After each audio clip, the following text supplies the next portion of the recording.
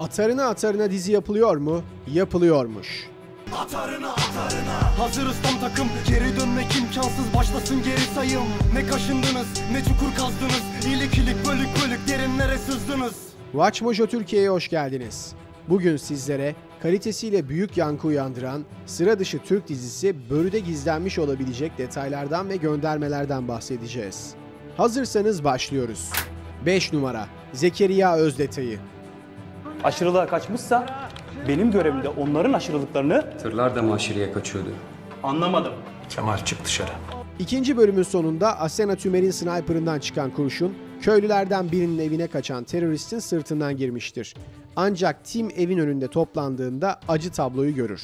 Yerde teröristle birlikte evin çocuklarından biri de yatmaktadır. Bölümün başında Asena'ya çiçek veren küçük kız.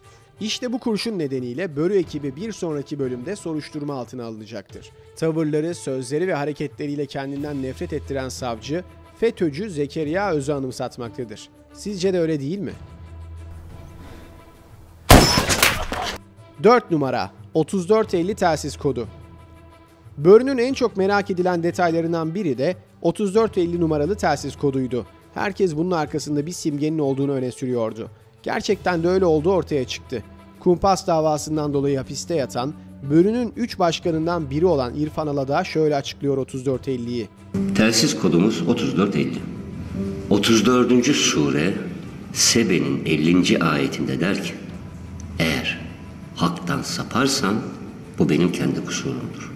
Ama doğru yolu bulursam onun vahyetmesindendir. O her şeyi bilir. Vatan sadece toprak değil Asena. Üzerinde yaşayan insan gerçek vatandır.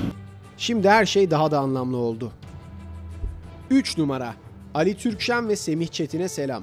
Bence harp okullarında ve ne olursa olsun isterse imam hatiplerde hiçbir ideolojisi olma, olmaması lazım. Atatürk'te Tamamen- mi efendim? Hayır Atatürk. Hayır, o Atatürk zaman devlet ve millet kavramından siz Atatürk, yanlış Atatürk e, böyle yani şey için George Washington ne a- anlam ifade ediyor Değerler Amerika için bizim de o ifade ediyor. Hiç öyle bir şey yok. yani. Kesinlikle katılmıyorum. Kesinlikle yanlış bilgi veriyorsunuz. Amerika için George Washington neyse Türkiye için Atatürk aynı şeydir derseniz ben sizinle kesinlikle ne aynı ortamda bulunmak isterim ne bu fikre Peki, saygı siz- duyuyorum. siz anlatın Kesinlikle peki. duymuyorum. İrfan Başkan Behçet Orbay'a önemli bir detaydan bahsediyor. Bahsederken de o sırada izleyenleri oldukça şaşırtıyordu. İrfan Başkan sadece ben değil, Karda bayrak diken adam da burada, filonun en zeki adamı da diyerek Ali Türkşen ve Semih Çetin'e selam duruyordu. Anlatmazlar tabii. Ne? Savaşı, gerçekleri. 2 numara Soy isimlerdeki şifre Türk mitolojisi oldukça ilgi çekici bir kavram. Son 15 yılda birçok şey gibi bu da unutturulsa da Türklerin destan ve hikayeleri oldukça ilgi çekicidir. Türk söylencelerinde Erlik kötülük, Ülgen iyilik tanrısıdır. Dizide Tolga'nın soyadı Erlik, Kaya'nın soyadı Ülgen. Yönetmen ve yaratıcı Alper Çağlar'ın bu tip detayları sevdiğini biliyoruz. Öyleyse Tolga izleyicilerin de iddia ettiği gibi FETÖ'cü olabilir mi? İzleyip göreceğiz. Kainatta bir düzen var biliyorsun değil mi? Ama bu senin istediğin ve umduğun gibi bir düzen değil. Bir numara ne mutlu Türk'üm diyene. Dizi her bittiğinde değişik bir alfabe ile birçoğunun anlamadığı bir yazı çıkıyor. Siyah zeminin üzerine yazılmış bu cümle aslında Göktürkçe ve çok anlamlı bir söz ihtiva ediyor. Türk kelimesi Osmanlı İmparatorluğu döneminde görgüsüz, kaba manasında yoksul köylü sınıfa verilen sıfattı. Saray çevresinde hakaretti esasen. Birçok milleti yöneten Osmanlı bu kadar kişiyi ümmetçi bir zihniyetle yönetiyordu.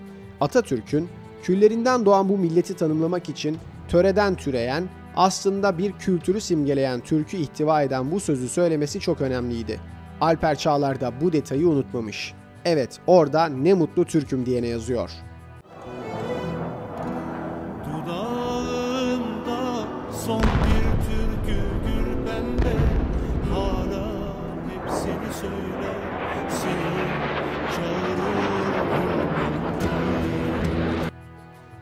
Börü'yü birçokları çok sevdi. Kısa bir TV serisi olacak bu dizide sizi en çok etkileyen detay hangisiydi? Yorumlarınızı yazmayı unutmayın ve Watch Mojo Türkiye'yi hemen takip edin.